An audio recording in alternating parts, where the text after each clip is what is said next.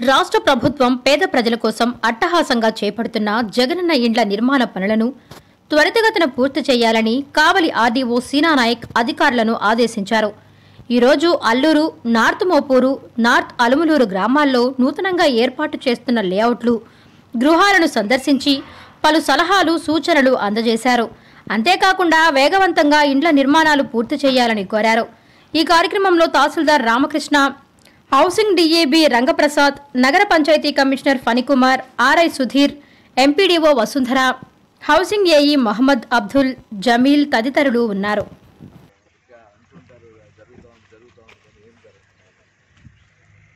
ఇంకా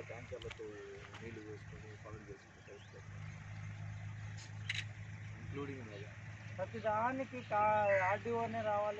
ఈ వీడియో మీకు నచ్చినట్లయితే please subscribe share and like ఇవ్వండి. Star nine live.